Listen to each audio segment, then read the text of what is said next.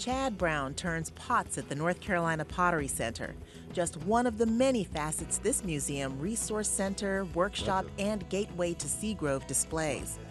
I've heard it said they should feel empty when you pick it up. Seagrove, a small community in Randolph County, is the beating heart of pottery in North Carolina. Some say the entire country. Uh, during the uh, late 1700s and early 1800s, uh, some folks um, settled in this area. They were primarily farmers, and farming was their primary occupation. It's what they did in the spring, summer, and fall. Now during the winter, uh, they needed something else to do, and uh, some of them turned to pottery and making pots. He said no one had any money. He said there was, there was no money. Chad, a fifth generation potter, remembers a story his grandfather told him about a local trader. He said he would come by and load his wagon with pots. And he'd pack everything in straw.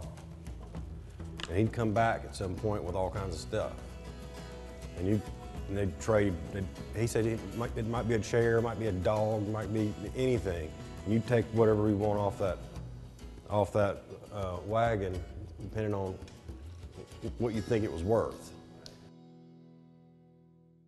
Today, pottery is the livelihood of hundreds of potters throughout the state, and the North Carolina Pottery Center is a great way for visitors to get oriented to the art form, especially in the Seagrove area. I knew that we had to start somewhere, and these maps are helpful, but to have somebody here in the center to tell you exactly where to find these places, plus you get to see what interests you. You have to take this smorgasbord and break it down and find specific things. We really act as a boosting organization for the entire pottery world that is centered in North Carolina. We uh, have these fabulous exhibitions. We represent the potters of Seagrove. When people come to visit the town, they can check out what's here before going out into the area to go to individual potteries. And we educate all North Carolinians about the wonderful world-class heritage that is uh, our North Carolina pottery tradition. A nonprofit, the Pottery Center relies on memberships and a large gala and auction to continue its mission.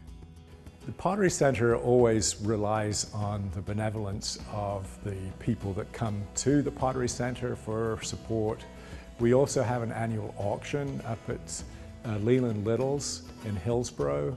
And we have a core group of ardent supporters who come out and often pick up bargains, uh, but out of their generosity want to help this particular unique institution survive and, and demonstrate all that North Carolina Pottery stands for.